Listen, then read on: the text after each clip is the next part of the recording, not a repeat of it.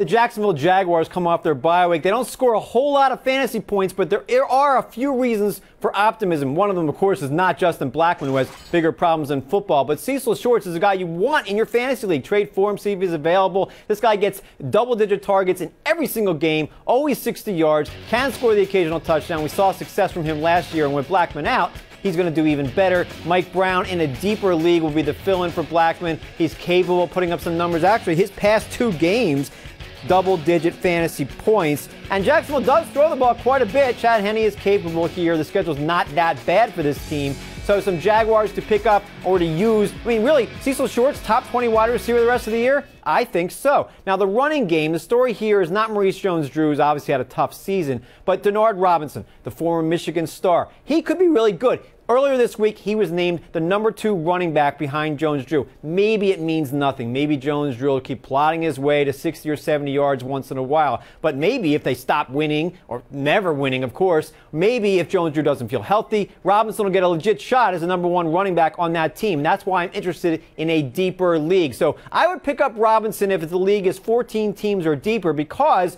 Jones Drew could get shut down at some point, and Robinson, as we saw at Michigan, has mad upside. So consider that if you're thinking about Jaguars for the rest of the season.